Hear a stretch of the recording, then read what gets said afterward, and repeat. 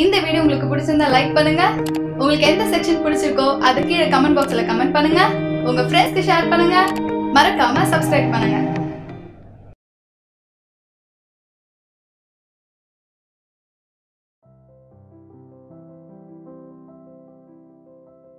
ஒருமுறை ஒரு மிஷினரி காட்டிலே ஊழியம் செய்யும்படி போன பொழுது அவர் வழி தவறி வேறொரு இடத்துக்கு சென்று விட்டார். தான் தங்கியிருந்த இடத்துக்கு எப்படி செல்வது என்று தெரியாமல் அவர் திகைத்து நின்ற பொழுது அந்த வழியாக ஒரு காட்டுவாசி சிறுவன் வந்தான். அவன் இடத்திலே அவர் போக வேண்டிய இடத்தை சொன்ன பொழுது எனக்கு அந்த வழி தெரியும் என் பின்னாடி வாருங்கள் என்று அவரை அழைத்து சென்றான். ஆனால் அவனோ பாதை வழியாக போகாமல் புதர்கள் வழியாக கற்கள் பாறைகள் வழியாக பாதையே இல்லாத இடங்களெல்லாம் அவரை அழைத்து சென்றான். அவருக்கு சந்தேகம் வந்து தம்பி உனக்கு போக வேண்டிய இடம் உண்மையிலே தெரியுமா தெரியாதா? என்று கேட்டபொழுது அவன் சொன்னான் ஐயா உங்களுக்கு இப்பொழுது நான் தான் வழி. என்னை விட்டால் உங்களுக்கு வேறு வழி இல்லை. என் பின்னாடி வாருங்கள் நான் உங்களை கொண்டு போய் சேர்க்கிறேன் என்று சொல்லி அவரை அழைத்து கொண்டு போய் அவர் போக வேண்டிய இடத்திலே கொண்டு போய் சேர்த்தான். அன்பான சகோதரி சகோதரியே சில வேளைகளிலே திக்கு தெரியாமல் திசை தெரியாமல் நம்முடைய வாழ்க்கை பிரயாணம் போய்கொண்டிருக்கிறது எதிர்காலம் இருளாய் தெரிகிறது. அடுத்து என்ன செய்வோம் என்று நாம் கலங்குகிறோம். அப்படிப்பட்ட சூழ்நிலையில ஆண்டவர் இயேசு சொல்கிறார் நானே வழியும் சத்தியமும் ஜீவனுமா இருக்கிறேன் அன்பான சகோதரி சகோதரியே வழியாகிய ஆண்டவர் இயேசுவை நீ பின்பற்றும் பொழுது ஒரு நாளும் நீ திசை தவறி செல்லாதபடி கத்தர் உன்னோடு கூட இருந்து நீ போக வேண்டிய இடத்துக்கு உன்னை கொண்டு போய் சேர்ப்பார்.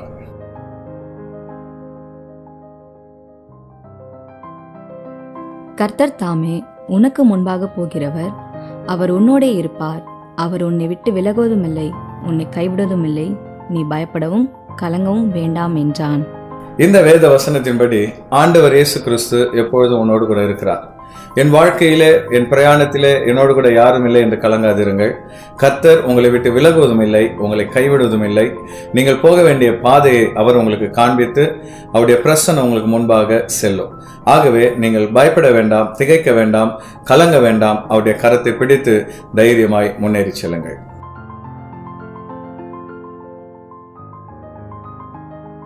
அப்பொழுது அங்கே இருந்து உன் தேவனாகிய கர்த்தரை தேடுவாய். உன் முழு இருதயத்தோடும் உன் முழு ஆத்துமாவோடும் அவரை தேடும்போது அவரை கண்டடைவாய்.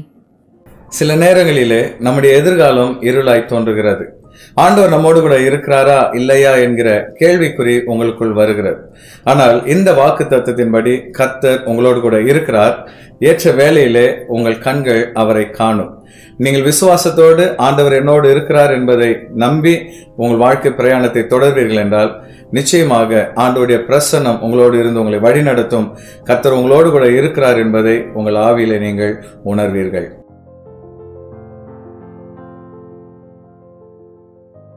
நீங்கள் வலதுபுறமாய் சாயும் போதும் இடதுபுறமாய் சாயும் போதும் வழி இதுவே இதிலே நடவுங்கள் என்று உங்களுக்கு பின்னாலே சொல்லும் வார்த்தையை உங்கள் காதுகள் கேட்கும்.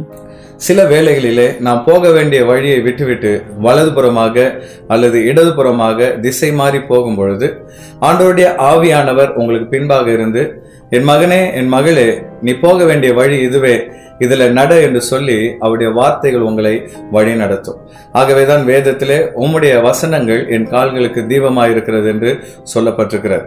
ஆண்டோடைய வசனத்தின்படி நீங்கள் வாழும் பொழுது நேர் வழியில செல்ல போக வேண்டிய இடத்துக்கு நீங்கள் போகும்படி அவர் உங்களை வழி நடத்துவார்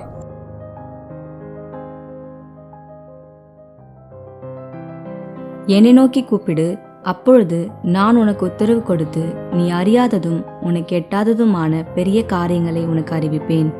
வாழ்க்கை பாதையில் சில தடைகள் சில போராட்டங்கள் கடினமான சூழ்நிலைகள் வரும்பொழுது சோர்ந்து விடாதிருங்கள். என்னை நோக்கி கூப்பிடு என்று சொன்ன ஆண்டவரை நோக்கி நீங்கள் கூப்பிடும் பொழுது நீங்கள் அறியாததும் உங்கள் புத்திக்கு எட்டாததுமான பெரிய காரியங்களை அவர் உங்களுக்கு அறிவித்து நீங்கள் போக வேண்டிய பாதையை அற்புதமாய் அவர் காண்பிப்பார். அன்பான சகோதரி சகோதரியே எந்த தடைகள் வந்தாலும் அந்த தடைகளை தகர்த்து ஆண்டவர் உங்களுக்கு முன்பாக சென்று பாதையை செவையாக்குவார்.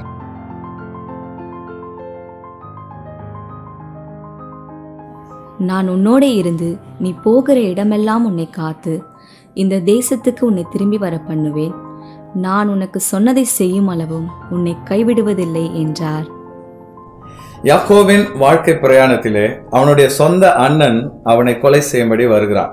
அப்படிப்பட்ட சூழ்நிலையிலே தன் உயிரை காப்பாற்றிக் கொள்ள ஓடின யாக்கோபுக்கு கர்த்தர் கொடுக்கிற வாக்கு தத்துவம் நீ ஓடுகிற பாதையிலே நான் உன்னோடு கூட வருவேன். உன்னை திரும்பவும் இந்த தேசத்துக்கு நான் கொண்டு வருவேன். நான் உனக்கு சொன்ன வார்த்தைகள் நிறைவேறும் அளவும் உன்னை கைவிடுவதில்லை என்று வாக்களித்தார். அதே வாக்குத்தத்தத்தை இன்றைக்கு கத்தர் உங்களுக்கு தருகிறார். ஒருவேளை வாழ்க்கை பிரயாணத்திலே ஆபத்துகள் பலவிதமான சூழ்நிலைகளிலே நீங்கள் ஓடிக்கொண்டிருந்தாலும் எப்படி யாக்கோபை திரும்ப கொண்டு வந்தாரோ அதே போல ஆண்டவர் சரியான இடத்திலே உங்களை கொண்டு வந்து வைத்து அவர் சொன்ன வாக்குத்தத்தத்தை நிச்சயமாய் உங்கள் வாழ்க்கையிலே நிறைவேற பண்ணுவார்.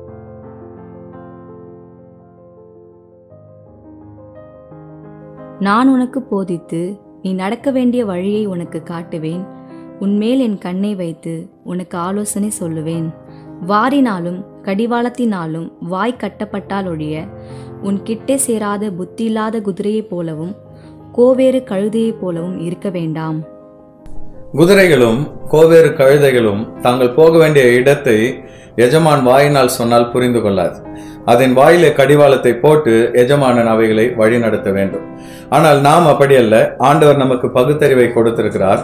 கர்த்தர் நாம் போக வேண்டிய திசையை காண்பிக்கும் பொழுது நம்முடைய உள் உணர்வினால் அதை புரிந்து கொண்டு கத்தோடைய வழி நடத்துதலின்படி நாம் செல்லும் பொழுது நிச்சயமாக ஆண்டவர் அற்புதமாய் நம்மை வழி நடத்துவார் நான் உனக்கு போதித்து நீ நடக்க வேண்டிய பாதையை உனக்கு காண்பிப்பேன் என்று ஆண்டவர் சொன்னது போல நீங்கள் தேவ சமூகத்திலே காத்திருக்கும் பொழுது அவருடைய வேத வாக்கியங்களை வாசிக்கும் பொழுது கர்த்தர் உங்களுக்கு போதித்து நீங்கள் போக வேண்டிய பாதையிலே உங்களை அற்புதமாய் வழி நடத்துவார்.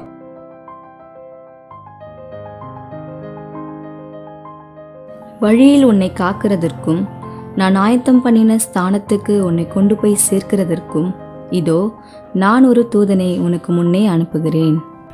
எகிப்திலிருந்து இஸ்ரவேல் ஜனங்களை கானானுக்கு ஆண்டவர் வழி நடத்தும் பொழுது அவர்களுக்கு வாக்களிக்கிறார். என் தூதனை உங்களுக்கு முன்பாக அனுப்புவேன் என்று. அதே போலவே ஆண்டோருடைய தூதன் அவர்களை பாதுகாத்தார். பகலிலே மேகஸ்தம்பமாகவும் இரவிலே அக்னி ஸ்தம்பமாகவும் அவர்களோடு இருந்து அவர்களை வழி நடத்தினார். அவர்களுக்கு தாகம் எடுத்த பொழுது கண்மலையிலிருந்து தண்ணீரை கொடுத்தார். பசி எடுத்த பொழுது வானத்தை திறந்து மன்னாவை கொடுத்தார். அவர்கள் இறைச்சி வேண்டும் என்று கேட்டபொழுது கடலிலிருந்து காடையை ஆண்டவர் கொடுத்தார். இப்படி நாற்பது வருடங்கள் இஸ்ரேல் மக்களை வனாந்திரத்திலே வழிநடத்தின கர்த்தர் உங்கள் வாழ்க்கையிலே உங்களை நடத்தும்படி தம்முடைய ஆவியானவரை உங்களுக்கு அருளி இருக்கிறார். அந்த ஆவியானவருடைய நடத்துதலின்படி நீங்கள் நடப்பீர்கள் என்றால் உங்கள் வாழ்க்கை பாதை இருளாக இருந்தாலும் திக்கு தெரியாமல் நீங்கள் வேதனைப்பட்டு கொண்டிருந்தாலும் ஆவியானவர் அற்புதமாய் உங்களை வழி நடத்துவார் இந்த செய்தியை கேட்டுக்கொண்டிருக்கிற அன்பான சகோதரனை சகோதரியே ஒருவேளை என் எதிர்காலம் எப்படி இருக்குமோ என்ற கவலையோடு கூட நீங்கள் இருப்பீர்கள் என்றால் இந்த வேத வசனங்களை விசுவாசித்து ஜெபம் பண்ணுங்கள். நிச்சயமாக இந்த நாள் முதல் கத்தோடைய ஆவியானவர் அவருடைய வார்த்தைகளினால் வசனங்களினால் உங்களை வழிநடத்துவார். நிச்சயமாக நீங்கள் போக வேண்டிய பாதையிலே உங்களை நடத்தி ஒரு நாள் பரம அழைப்பின் பந்தய பொருளை பெறத்தக்கதாக உங்களை வெற்றி சிறக்க பண்ணுவார். கண்களை மூடி ஜெபித்து நாம் நிறைவு செய்வோம். நல்ல ஆண்டவரே இந்த நாளிலே கூட இந்த வார்த்தையை கேட்டுக்கொண்டிருக்கிற நம்முடைய பிள்ளைகள் ஒவ்வொருவரையும் ஆசிர்வதிப்பீராக. ஆண்டவரே எதிர்காலம் எப்படி இருக்குமோ என்று கவலைப்பட்டு கலங்கி கொண்டிருப்பார்கள் என்றால் ஆண்டவருடைய ஆவியானவர் அவர்களை நடத்துவீராக. உம்முடைய வேத வசனங்கள் அவர்கள் கால்களுக்கு தீபமாய் மாறுவதாக. உம்முடைய ஊழியனாக பிதா குமாரன் பசுதாவின் நாமத்தினால் உடைய பிள்ளைகளை வாழ்த்துகிறேன் ஆசீர்வதிக்கிறேன். தொடர்ந்து ஆண்டவர் தாமே வழி நடத்தும் பெரிய காரியங்களை செய்தரலும் இயேசுவின் நாமத்தினால் ஜெபிக்கிறோம் எங்கள் நல்ல பிதாவே. ஆமே ஆமே thank you and God bless you